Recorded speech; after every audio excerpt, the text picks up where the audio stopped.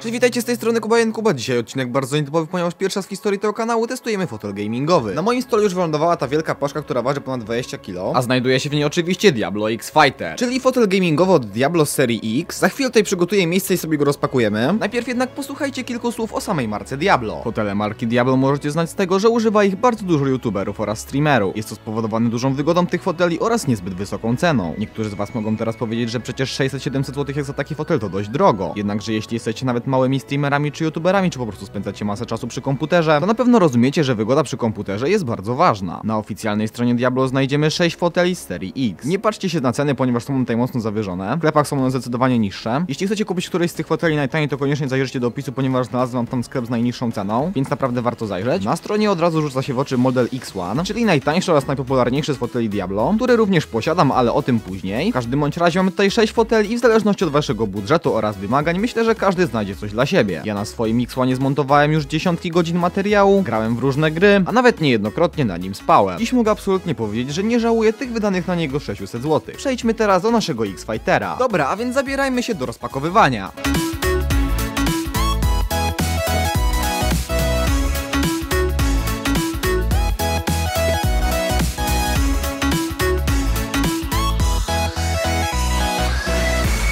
Ok, jak widać fotel przychodzi do nas w naprawdę wielu częściach, mam oczywiście instrukcję jak to wszystko złożyć. Producent nie był skąpy i nawet wydrukował tę instrukcję na kolorowej drukarce. Jak widać mamy tutaj spis wszystkich części oraz kroki jak co po kolei montować.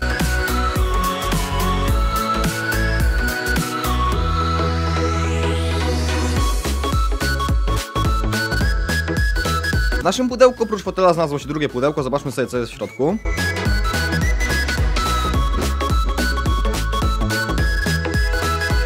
Mamy tutaj chociażby kółka, bardzo fajnie, że są one gumowane. Mamy tutaj też cały system regulacji oparcia oraz wysokości fotela, siłownik do podnoszenia czy opuszczania, maskownica oraz wszystkie potrzebne śruby oraz klucze.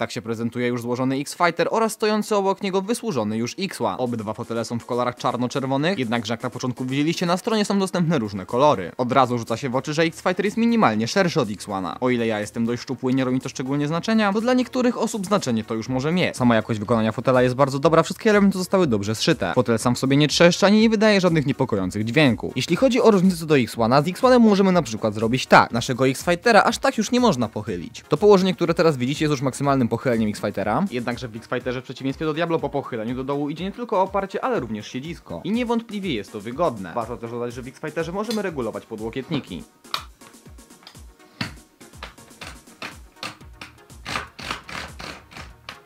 i możliwości regulacji jest tutaj naprawdę dużo. X-One natomiast nic nie możemy zrobić. Ogólnie rzecz biorąc, bardzo ceniłem X-One za te dwie poduszki. W przypadku X-Fightera dostajemy niestety tylko jedną. Dlatego zrobimy sobie teraz małą podmiankę.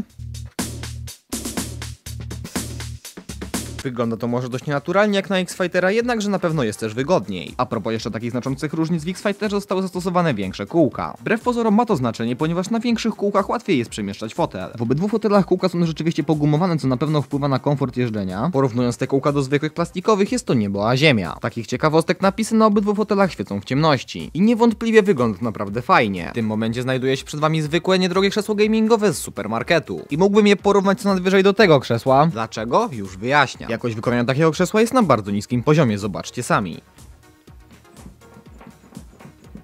Zostało wykonane z jakiegoś materiału skóropodobnego i tak to się prezentuje po roku użytkowania. Same miejsce do siedzenia jest bardzo małe. Chodzi mi tutaj o jego długość. Nie mamy możliwości pochylenia oparcia i łącząc te dwa fakty, aby było nam wygodniej, musi na tym krześle siedzieć gdzieś w tym miejscu. I wygodne krzesło gamingowe niewątpliwie powinno kończyć się w tym miejscu mojej nogi, a nie w tym. Mimo zastosowania śruby do pochylania krzesła w przeciwieństwie do foteli Diablo działa to tragicznie. Na maksymalnym luzie na śrubie nie idzie tego i tak przechylić. Podsumowując, jeśli spędzacie przy komputerze więcej niż 3 godziny dziennie, powinniście rozważyć zakup krzesła gamingowego. I gdy już decydujemy się wydać te kilkaset złotych na krzesło, na pewno nie wybierajcie takiego. I ja osobiście uważam, że marka Diablo jest bardzo dobrym wyborem. Napiszcie koniecznie w komentarzu, który fotel podoba wam się bardziej, X1 czy X-Fighter. A w dzisiejszym odcinku to już wszystko, zajrzyjcie koniecznie do opisu. Tak jak już wspominałem, znajdziecie tam linki do sklepów, w których możecie kupić wszystkie te fotele Diablo najtaniej. Macie tam również link do naszej grupy na Facebooku, gdzie doradzamy przy wyborze głośników. A na dziś już nie przedłużam, żegnam się z wami, no i narka.